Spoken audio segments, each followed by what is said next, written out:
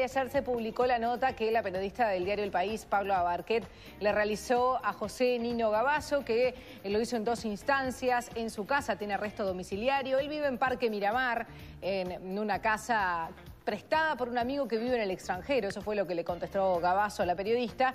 Y allí fue entonces en charlas entre 5 y 6 horas donde recabó la, información que parte publicó en el día de ayer en, eh, en el suplemento que pasa del diario El País. Allí Gabazo habló de las torturas, eh, de esos interrogatorios para obtener información a los detenidos.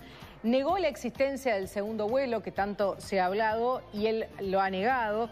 Y también se, habló sobre la relación de los supuestos informantes del PVP, el Partido de la Victoria del Pueblo, y también del MLN.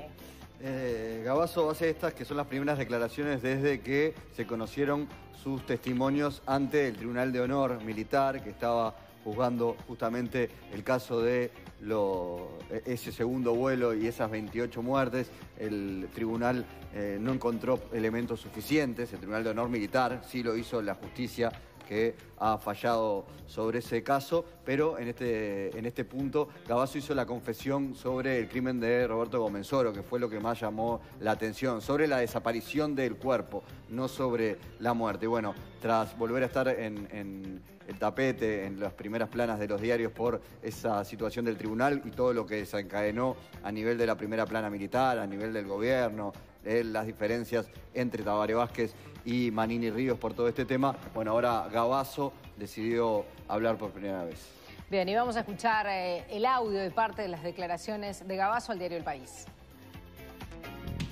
Me parecía que, y, lo sigo pensando, que yo no me tengo que ocultar, no tengo que ocultarme de nadie por nada, porque no hice nada que no fuera para bien de nuestra patria o de nuestros conciudadanos. Y le puedo asegurar que no estoy arrepentido así, pero de nada. Y si me dicen, lo perdonamos si usted se arrepiente y si no va a estar 100 años más preso, bueno, téngame 100 años más preso. Estamos hablando de la guerra y no de la paz. No existe en el mundo ejemplo de guerra sin tortura.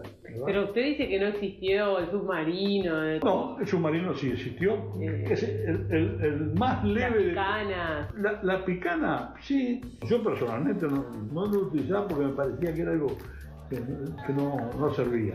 El submarino sí porque le, da una sensación a la persona que es, lo estamos hablando civilizadamente, ¿verdad? No es que yo esté defendiendo la tortura y diga, qué bien la tortura, ¿verdad? Cada vez que tenga un ratito libre voy a torturar a ella. No, no, no es ese mi pensamiento. No voy a, caer en lo mismo que cayeron ellos, por una taza de café entregar a los que fueron mis compañeros, por venganza y, por, y por plata. Usted no se olvide que todos cobran, todo aquel que haya estado preso cobra, aunque sea 10 minutos, cobra. Y si logra probar de que le pegaron una cachetada, cobra más. Y si logra probar que estuvo tres meses sin que le avisaran a la familia, cobra más.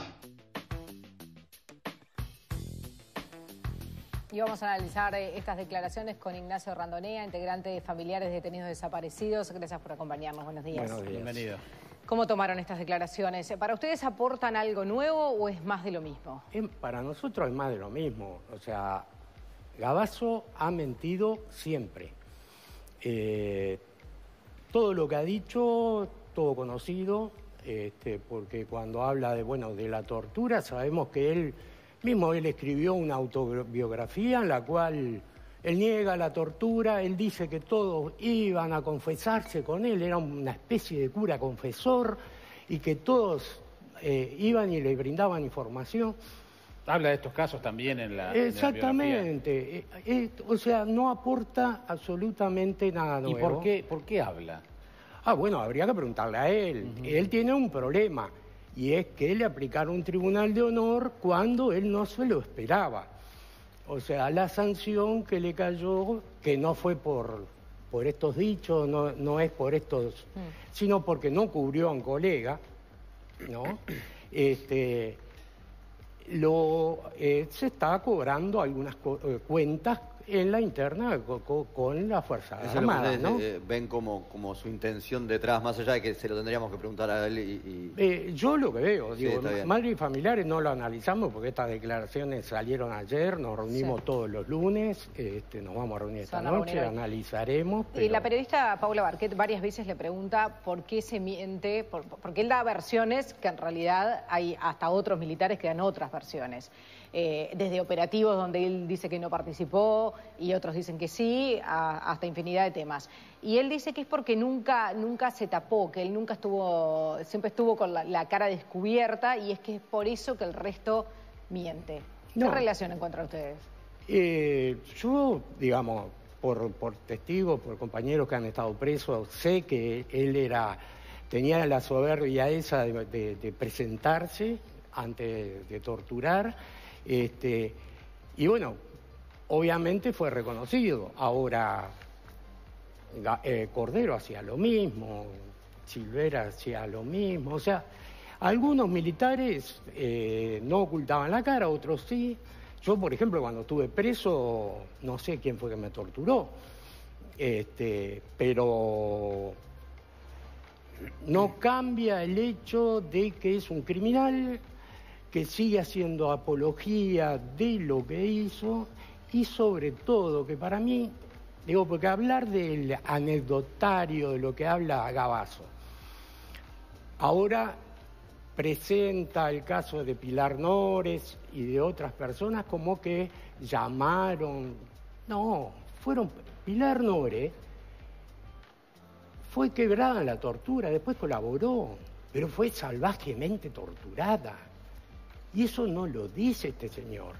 O sea, la tortura en Orletti, y en, en el 300 Carlos, en, en la casa de Punta Gorda, en la tablada, era salvaje, era brutalmente salvaje. Eso es importante porque él lo trata Mm. de poner en términos casi civilizados, como cuestiones de guerra, y bueno, estas son cosas que, que pasan, pero lo hacíamos hasta ahí nomás.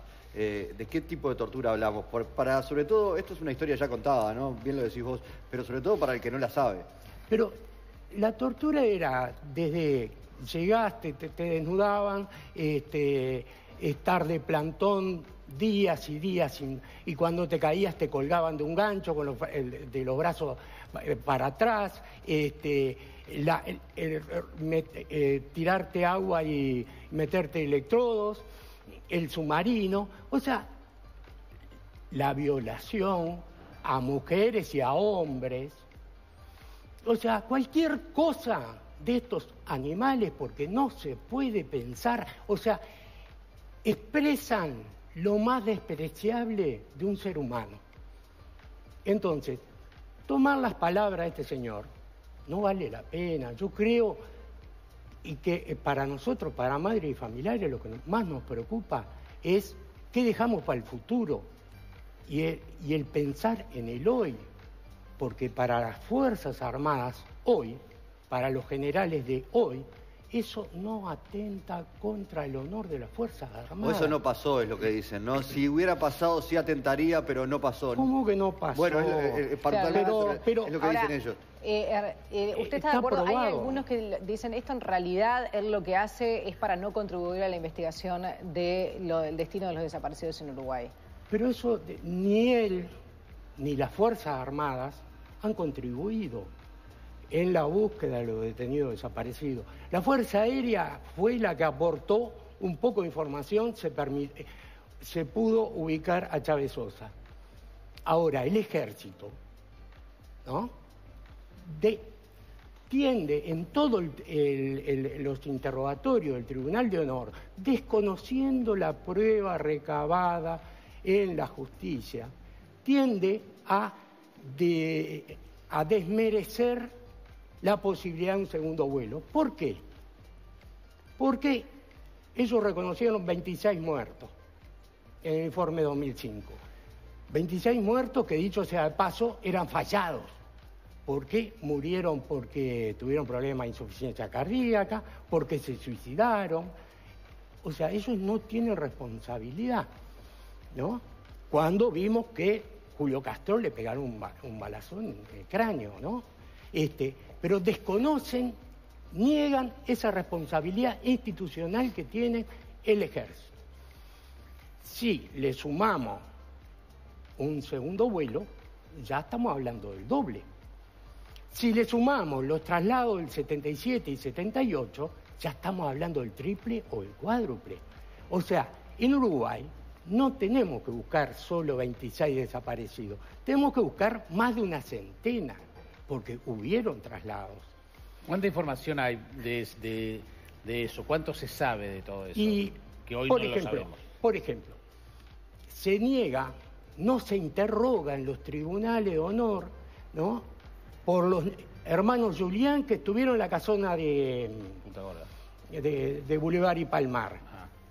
¿no? No se los interrogan y sabemos que los trajeron. No se toma el testimonio de Laguna, la señora de Soba, que estuvo presa en Orlete, con- vio a su marido, la traen con sus hijos para acá. Eso no se toma en cuenta, son testigos directos Claro. que dicen el caso de Mechoso porque aparece en sus restos eh, en Argentina. Sí. Nadie, en el- uno lee el tribunal, eh, la- el fallo de que condena por los 28 homicidios, no dicen en ningún lado que trajeron a los 28 para acá. Dice traslados. Es más, se habla entre 16 y 22 personas. O ese es un argumento que usan también los militares para poner Pero en los militares hoy, ¿por qué? ¿Porque no leyeron? No, lo leyeron. Porque son sinvergüenzas. Porque quieren negar el hecho de que se trasladó gente y que se la ejecutó acá. Ahora hablamos de- fríamente. de los integrantes del Tribunal de Honor para- y- y de Manini para que- también, ¿Para qué ¿no? traerlos hasta, hasta acá para matarlos si los podrían haber matado allá? Es verdad. Los mataron en Argentina, dice. Es verdad, eso podría haber sido, pero no fue así. Y a finales de octubre hay un comunicado de las fuerzas conjuntas leído por Gabazo que dice que detuvieron a 62 personas del PVP y muestran y dan los nombres de 15 en el Chale Susi. Hmm, en Que hicieron, claro, que hicieron todo un, un teatro de que lo había, que había- Fue- venían a fue montado invadir. esa- esa- fue esa montado, captura. lo reconocen ellos inclusive, ¿no? Este, y quiere decir que las personas a esa fecha, los trasladados en segundo vuelo, todavía estaban vivos.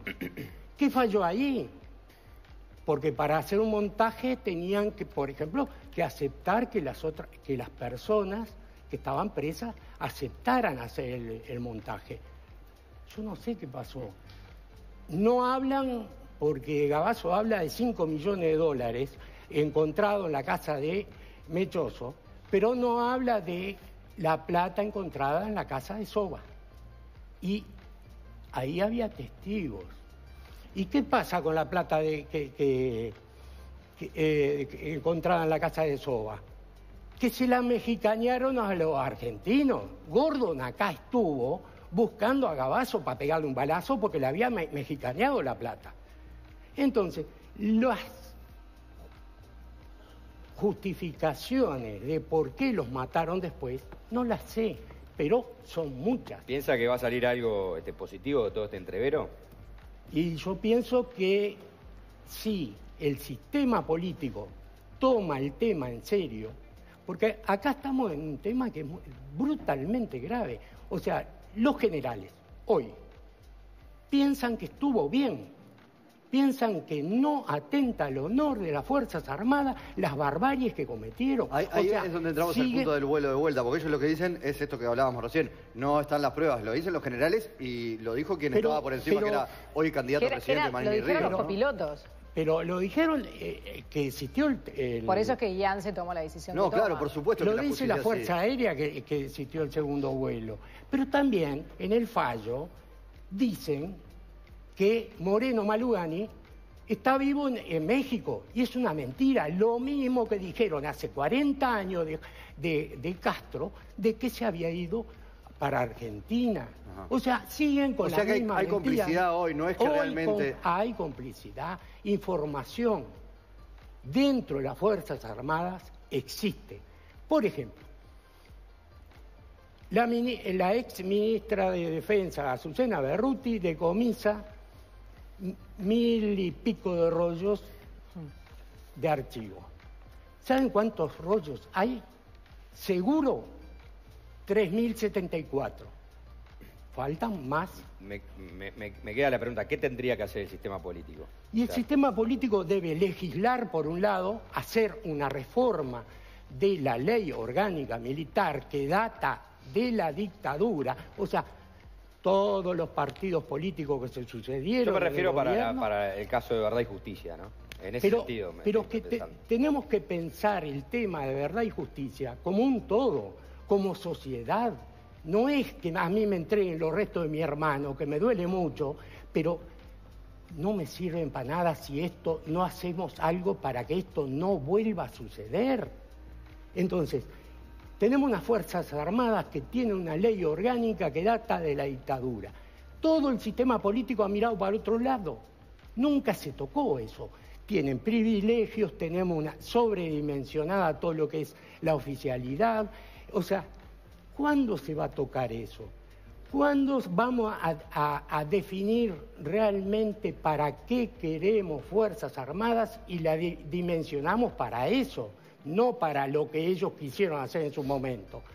¿Cuándo las vamos a formar, que eso es fundamental, con un criterio democrático y no con bajo la doctrina de la seguridad nacional que hemos tenido que soportar comandantes en jefe que se auto otorgan eh, la autoridad de decir que son la reserva moral de la democracia, torturadores, violadores, esos son la reserva moral ¿Esa es la sociedad democrática que tenemos en Uruguay? ¿Que tenemos eso como reserva? ¿Cuándo le vamos a hincar el diente?